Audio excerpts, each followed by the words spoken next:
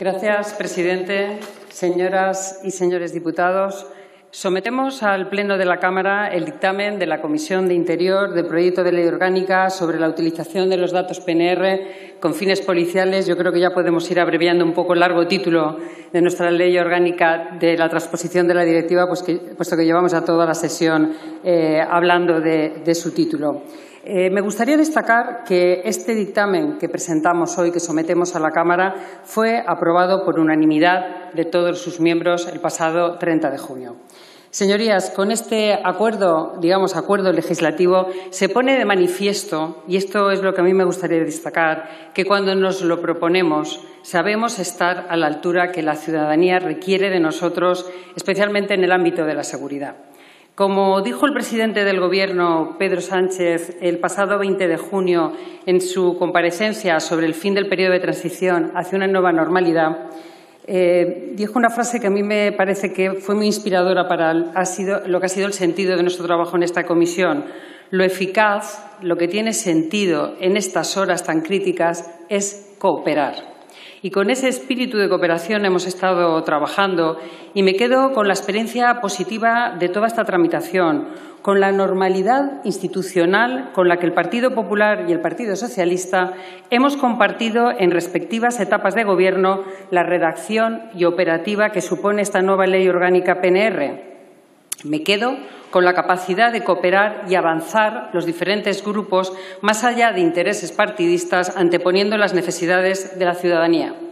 En un momento, es un momento importante, y lo decía, eh, me alegra haber coincidido también, creo que lo decía el diputado del Grupo Vasco, eh, Miquel, es un momento importante porque se trata del segundo intento de tramitación de esta, iniciativa y que decayó por la convocatoria de las elecciones, eh, eh, convocatoria adelantada en el mes de marzo de 2019. En el debate de totalidad del pasado mes de junio dije que el Gobierno había cumplido me alegra tener aquí la presencia hoy con nosotros también del ministro del Interior. Y lo dije porque se hizo un gran esfuerzo en muy poco tiempo para lograr recuperar ese tiempo que se había eh, perdido y poner en pie esta iniciativa que somos bien conscientes de la premura con la que teníamos que cumplir el mandato eh, europeo, porque la, directiva venció en mayo de 2018, fue justo antes de la moción de censura y tenemos abierto, teníamos abierto procedimiento de información con una, con una posibilidad de doble multa. Por ello, quiero tener un especial recuerdo para los funcionarios del Ministerio del Interior y de la Secretaría de Estado de Seguridad. Eh, hablaba el diputado del Grupo Popular del equipo, de los equipos del señor Zoido. A mí me gustaría destacar los equipos del Ministerio, esos equipos profesionales que están en la base de la institución, que trabajaron en aquel momento, que han trabajado con el anterior equipo, con toda la normalidad. Es verdad que hay unas directrices políticas. Quizá las que tuvieron en aquel momento no eran de tanta urgencia y las nuestras sí que fueron de mayor presión porque estábamos eh, realmente, eh, estaba el Gobierno muy preocupado de que se cumpliera con esa rapidez. Así que me gustaría efectivamente tener un recuerdo para ese personal del Ministerio del Interior que eh, además han diseñado un complejo eh, operativo técnico dentro de lo que es el CITCO y el esfuerzo que hicieron también para desbloquear en poco tiempo este proyecto de ley que estaba terminado, pero también estaba paralizado antes de la moción de censura.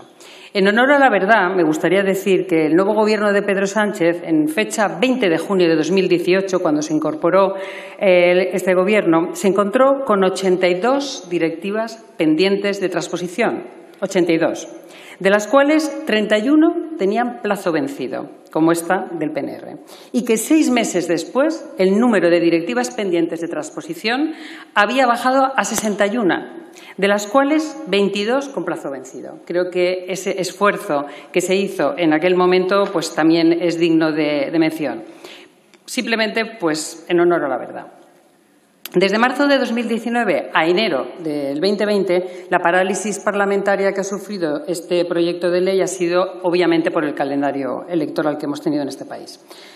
Eh, pasando a otro ámbito, me gustaría eh, bueno, pues dirigirme un poco a los ponentes designados por los grupos parlamentarios. Son las personas que han estado trabajando a lo largo de este tiempo en la tramitación de la ley.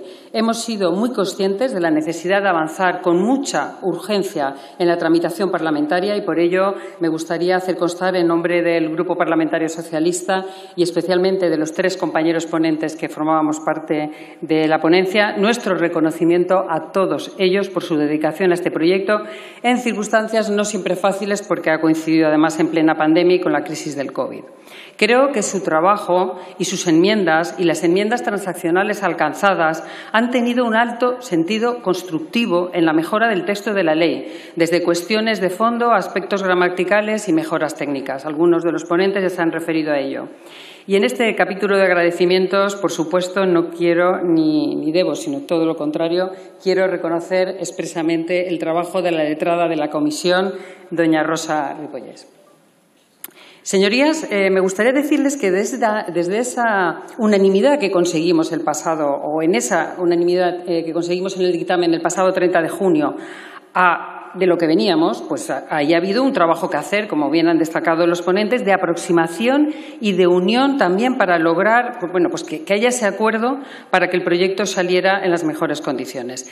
Les recuerdo brevemente que tuvimos una enmienda de totalidad eh, de devolución sin texto alternativo del Grupo Plural, que fue rechazada en pleno, que eh, tuvimos también 31 enmiendas al articulado, de las cuales pues 16 correspondieron con el Grupo Vasco, tres eh, fueron puestas por el Grupo Popular, dos por el Grupo Vox, ocho por el Grupo Socialista unido con el Grupo Confederal de Unidos Podemos en Común Podem, Galicia en Común, y dos por el Grupo Parlamentario Plural.